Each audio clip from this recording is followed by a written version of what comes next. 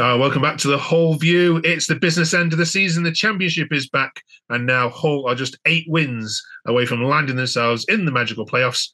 And we all know what happens when Hull City are in the playoffs. They usually go up. How are you, Will? Excited? Oh yes, very excited. Been a good run in, I think. Good run in. So this week sees the visit of Stoke City. Um, we're going to preview that game in a second with our uh, Stoke City fan Liam. Good evening, Liam. Evening. How are you? Okay. I had a free weekend without watching Stoke this weekend, so yeah, I'm fine. uh, we're going to look back at that Leicester game, and we're also going to talk about club versus country as well. Would Will sooner see Hull promoted or England win the Euros? So let's get right into it straight away. First of all, Will, that was some game uh, against Leicester. Do you feel a little bit hard done by it all?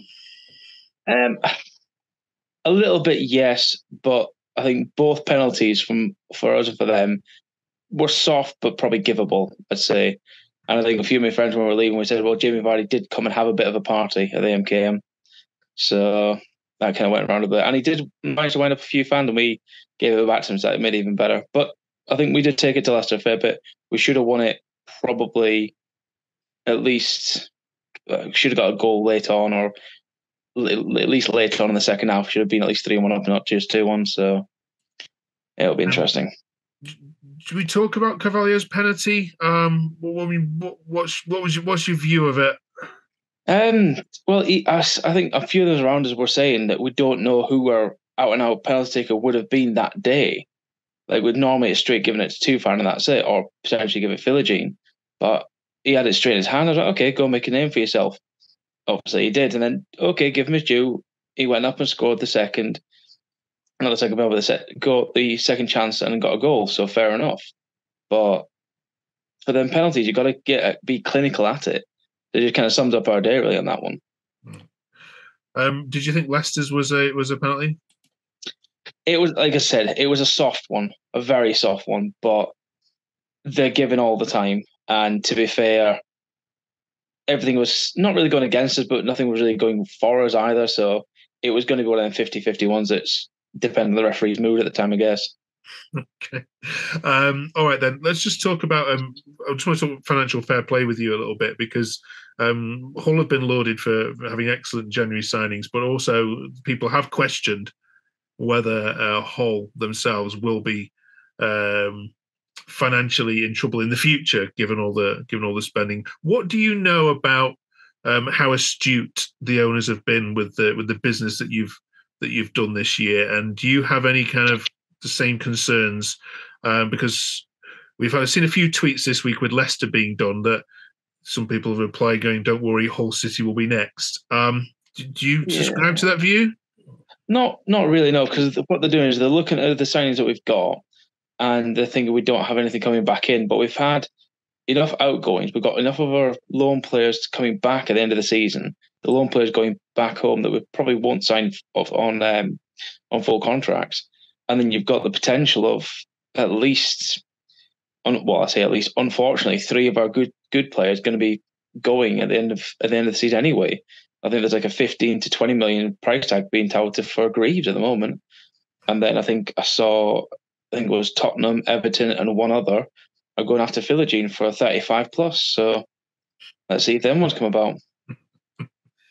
no way. There's no way we're landing them anyway. Um, right. What did you make of? Uh, let's go on to talk about the Stoke game then. What did you make of uh, of Stoke City in the reverse fixture? Uh, which was back in uh, back in late September. Um, you uh, turned up and, and beat them three one. Well, to be fair, I, I enjoy the Stoke games. I don't know why. It's just it, I've always liked like a nice. They're they're a good side to play against. No offense to Stoke. It just we turned up at the right time. We were on, not on fire, but we are doing really well. We were on on point for ourselves, and I think as long as we still keep to that way of thinking, we'll be the same again at home. But again, a lot of fans are saying that our home form is dipping a lot. Like we're getting a lot of good results away, but we need to bring it back home. I hmm. think today I read that we're fully sold out for the MKM to on uh, on Saturday, uh, sorry Friday. So that'll be a really good um, good atmosphere for the game. So hopefully the players will bring their A game and we'll win.